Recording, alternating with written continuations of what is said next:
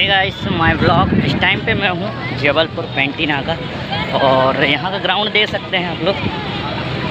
Public से भरा हुआ है। फ़िलहाल हम लोग चलते हैं आगे की ओर, क्योंकि अभी जिस जगह जाना है, उस जगह का नज़ारे दिखाते हैं। फ़िलहाल हम लोग रास्ते पे, क्योंकि बस है ना, काफ़ी पीछे छूट गया है। तो हम लोग बस से उतरे और फाइनली पैदल।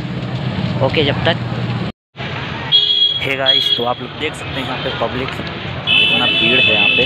देखो काउंटर बना हुआ है यहाँ, क्योंकि यहाँ पे वाहनों को जाने नहीं दिया जा दिया जा रहा है। और पुलिस प्रशासन भी यहाँ पे लगा हुआ है। फ़िलहाल यहाँ फ़र्स्ट गेट से प्रयास करते हैं जाने का, क्योंकि काफ़ी पब्लिक है और कोशिश करते हैं यहाँ से जाने की। मिलते हैं आगे और, ठीक है? तो दोस्तों, इस टाइम पे हम लोग आ गए हैं डायरेक्ट पंडाल पे, और यहाँ पे समय चल रहा है कार्यक्रम, संगीत का, है ना? जो कि मनोरंजन थोड़ा सा और गायिका भी आए हों, हैं।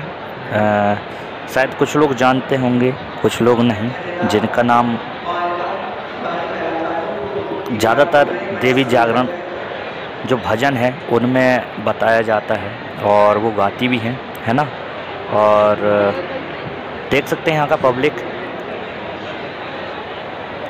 इतना पब्लिक है कि कुछ लोग यहाँ पे अंदर हैं और कुछ लोग बाहर साइड पे हैं, है ना? कुछ लोग रोड पे भी हैं। पब्लिक आ नहीं पा रहा है पूरी तरीके से। और देख सकते हैं रानी दुर्गावती जो स्वरूप है, वो दिखा रहे हैं। चित्रण करके और पब्लिक देख सकते हैं, काफ़ी ज़्यादा पब्लिक है। पुलिस प्रशासन भी लगा हुआ है और हम लोग भी आए हुए हैं यहाँ पे। मेरे यहाँ से काफ़ी लोग आए हुए हैं, है ना? और कुछ लोग अंदर आ रहे हैं, कुछ लोग अभी भी नहीं आए, है ना? तो बाकी और भी नज़ारे के लिए बने रहिएगा। थोड़ी देर पहले आप लोगों को नाम बताने वाला था, जो गायिका आई हुई हैं, है ना? संजू बघेल, शायद आप लोग जानते होंगे, है ना? बाकी और एक वीडियो आगे के साथ मनोरंजन के साथ लीजिए, बाकी बने रहिए।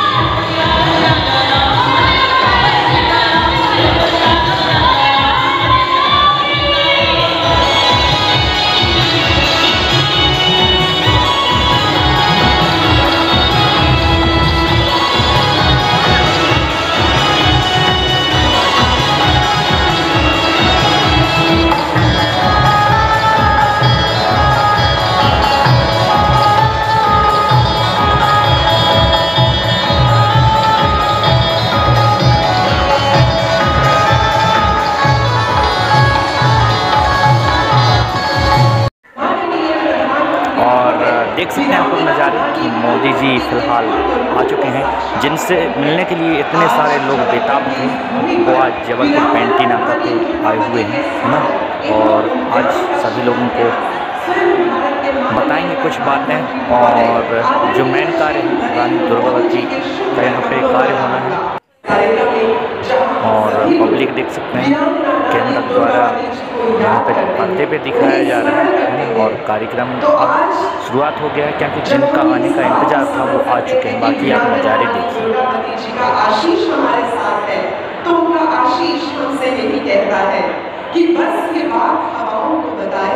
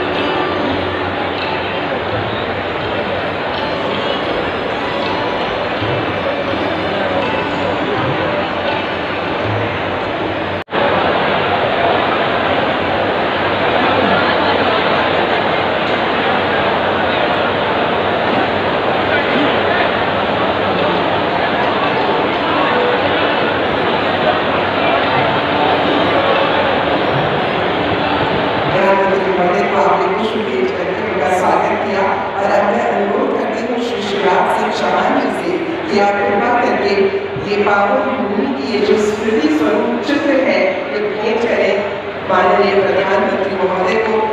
ये चित्र जैसे गौतम भारत संविधान की मूल नीति के अनुकरण करता ने बनाया था।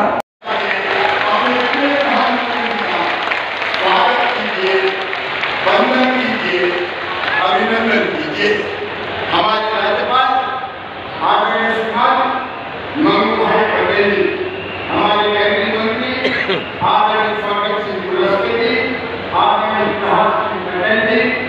Grazie.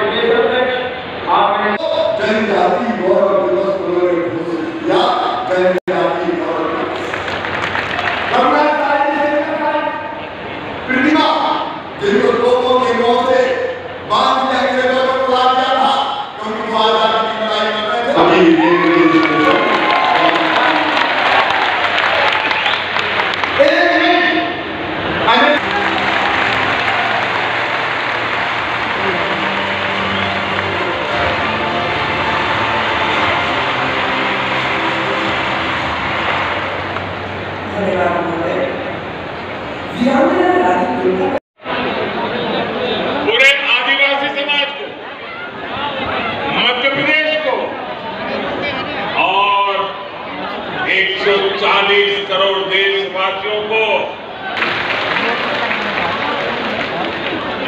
दुनिया के किसी देश में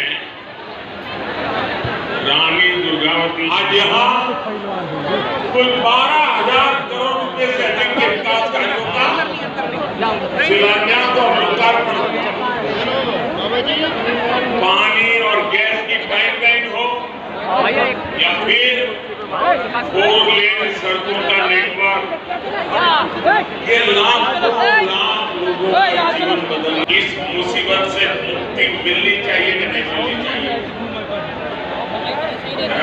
इस टाइम में दोस्तों मैं निकल गया हूँ पंडाल से बाहर और पब्लिक अब घर जाने की तैयारी पे है है ना? घर के लिए नहीं रवानगी के लिए है तो फाइनली लोग देख सकते हैं काफ़ी ज़्यादा पब्लिक बाहर से निकल चुका है अंदर से बाहर निकल चुका है और सभी लोग जाने की तैयारी में हैं। देख सकते हैं इतना सारा पब्लिक रोड पे एक साइड पे सब अपने अपने घर जाने की तैयारी में हैं और फ़िलहाल नाइट हो गया है दोस्तों और मैं भी बस पे हूँ। देख सकते हैं कितना सारा जाम लगा हुआ है पूरा एक लाइन से बसें लगी हुई हैं फिर भी अ, लोगों का जो भीड़ है अभी तक कम नहीं ये देख सकते हैं नज़ारे। ये मैं भी बस पे हूँ तो बस अपने क्रॉसिंग से चल रहा है। और शायद आप लोग चाहें तो गिनती भी गिन सकते हैं कि कितना बसें हुई लाइन पर लगी हुई हैं। और ये पीछे करते हुए आगे बढ़ते जा रहा है। फाइनली कोशिश में ये है कि जाम में हम लोग ना रहें क्योंकि काफ़ी ज़्यादा जाम है। पीछे भी गाड़ी लगी हुई है और आगे भी। ये देख सकते हैं आप लोग नज़ारे। नाइट का नज़ारा है। काफ़ी सारा भीड़ है और जाम में अभी भी गाड़ी फंसी हुई हैं। काफ़ी, क्योंकि काफ़ी सारा बस आए हुए थे, काफ़ी जगह से आए हुए थे, है ना? तो बाकी और भी नज़ारे इतना ही रहेंगे, क्योंकि नाइट हो गया है तो कोशिश करूँगा आप लोगों को थोड़ा सा नज़ारा और दिखाने का, बाकी वीडियो को एंड करेंगे। ओके बाकी बने रहिए। देख सकते हैं, पीछे का नज़ारा है दोस्तों, फ़िलहाल मैं आ गया हूँ पीछे साइड बस पे ही, और, पीछे भी लाइन कतार से लगे हुए हैं गाड़ियाँ, है ना? और अब हम लोग आ गए हैं एकता मार्केट और यहाँ से हम लोग का जो जाम में खड़े होने का था का जाम में फ़िलहाल हम लोग खड़े नहीं हो पाए, क्योंकि बस निकल चुकी, है ना? पीछे पीछे साइड बस जाम पे लगी हुई है। बाकी आज का जो वीडियो है, आप लोगों को कैसा लगा? लाइक शेयर सब्सक्राइब कमेंट ज़रूर कीजिएगा। बाकी इतना ही। जय हिंद, वंदे मातरम बार बार एंड गुड नाइट